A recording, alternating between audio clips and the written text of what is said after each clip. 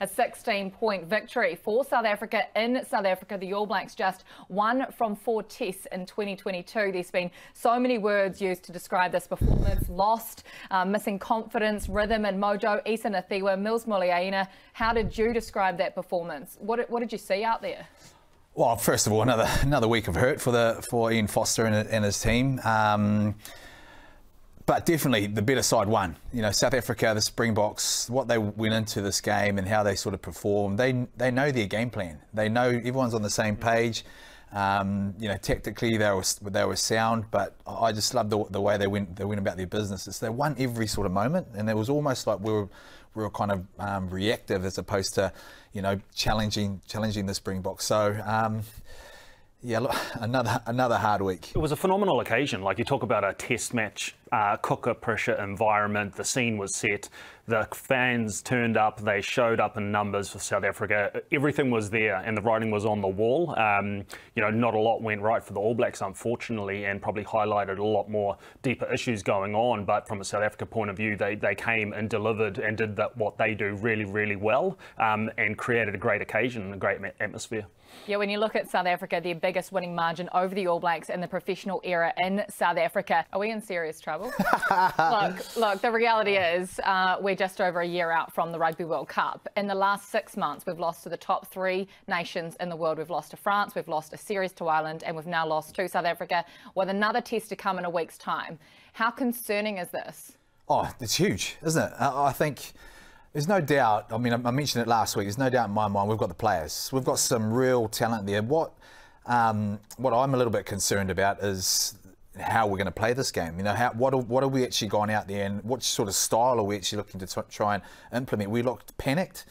We looked rushed. Um, and again, for another you know weekend um, in a row, we're we don't sort of, sort of seem to understand what we're actually trying to achieve. There's so many little things that you could tweak or change. Um, but overall, from a game plan perspective, if, if it's not right, then you're all trying to fix something within it, then, then there's a lot of hurt probably still to come um, uh, before things sort of head in the right direction. So are we in a you know, world of hurt? Yeah, we are. Absolutely. And, and, and you're seeing that. Like the effort that's there they're not clinical. They're not seeing. Then then there's the tunnel visions there. They go, I'm going to try even harder. And the harder you try, the harder you try to run things out. But no one's sort of thinking, okay, what's what's happening here? Let's refocus as a as a leadership group and say, well, for the next five minutes, which is a long time in Test match rugby, we need to start pinning the corners. Uh, you know, we've, we've lost the battle in the air.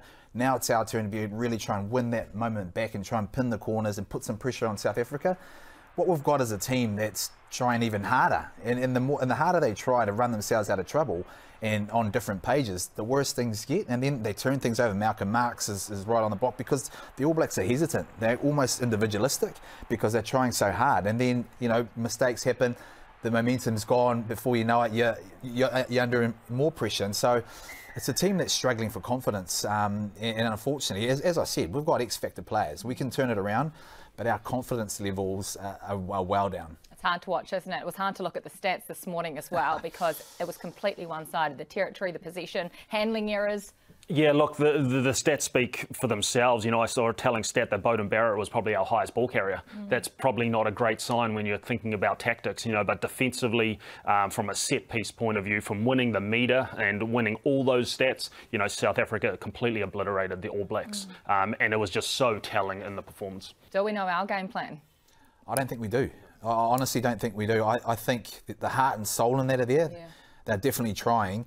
But I think there's a lot of confusion about, you know, where do we go to, you know, next and, you know, what do we need to change up on the day? Well, we're going to talk about tactics and coaching and player personnel a little bit later on. But first, we've got a team on the ground in South Africa. Justin Marshall was there with Schalk Burger. We've got the right man for the job here because this test match has been heavily analysed already, but an area that was a speciality, speciality of yours was the breakdown. It's been a problem for the All Blacks, was in the Irish series and was again in this test match. Why are they losing that contest from your perspective of the All Blacks and why are the Springboks so very good? They knew Malcolm Marx was going to get over the ball, but they couldn't move him. uh, Malcolm was outstanding. I don't think he was up for this one. It was his 50th. He's only started half the test matches he's ever played in. He adds so much value, whether he's starting or he's coming off the bench. I think why it's so difficult to steal the ball against the, bo the Boks because there's not a lot of passes happening on and we, we get gain line.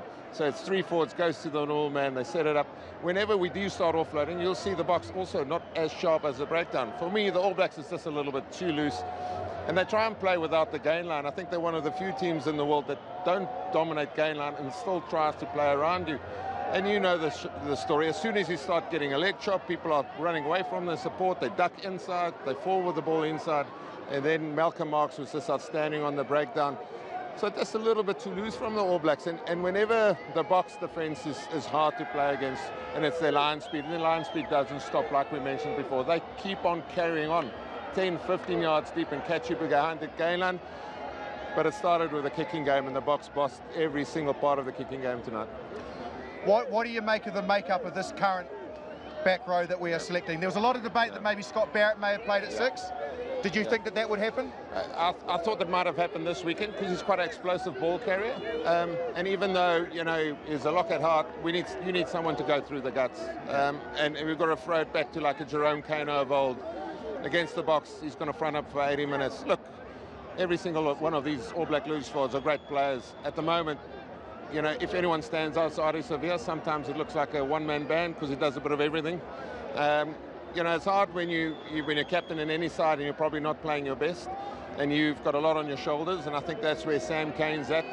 Um, so it's quite hard to free yourself up because uh, that pressure to sit there, and it, it, I think it clouds your judgment on decision making where the team's at within a game. And then Akira I think I'll pick for certain games. Um, especially when he can dominate in the wide game, uh, uh, in the wide channels. He's like another back. Such nice skill set, but against the Boks, I don't see him enough mixing it with our big boys. And, and, and that's where you've got to fight fire with fire, I think, against this Bok defence. Okay, there you have it. Maybe some selections up for debate during the week, and breakdown is definitely a work on. Excuse the pun. Anyway, Sculler, what you are over here is very good host.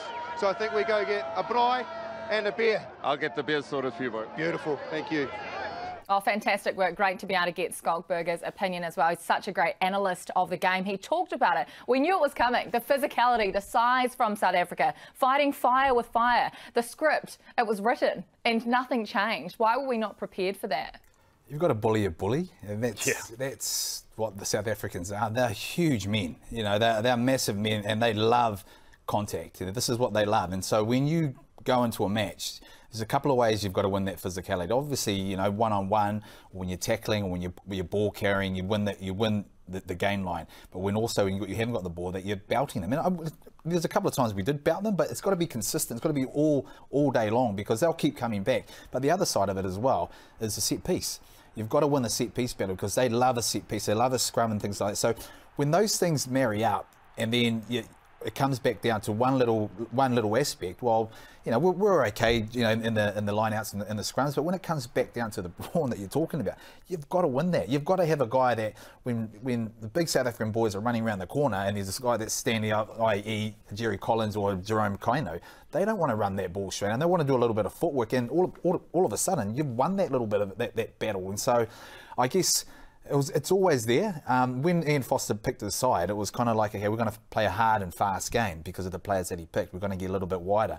But you can't do that unless you win the upfront battle first and foremost, and we just didn't win that.